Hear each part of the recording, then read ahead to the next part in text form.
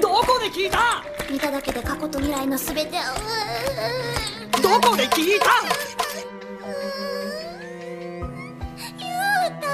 痛い。管理局が各所に密かに仕込んでいる。電車行っちまったじゃねえかよ！計画では15時に帰宅し、うん、お兄ちゃんこの人は？上の高梨さんの妹だ。一緒に暮らすんだってな魔力チャンバー内圧力上昇。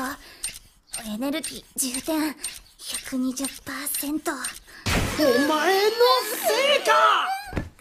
あびっくりした。お前か！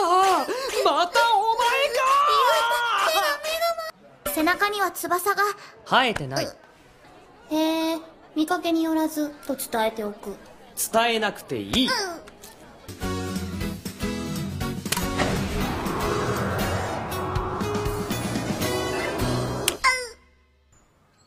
方ない。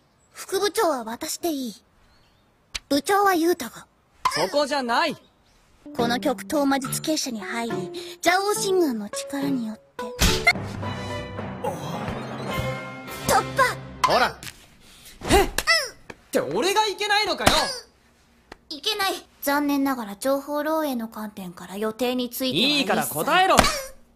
特に決まってない。でも1年の中間試験で2点ってないと思うな。2点うん。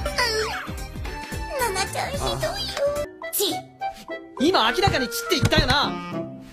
お座り。うん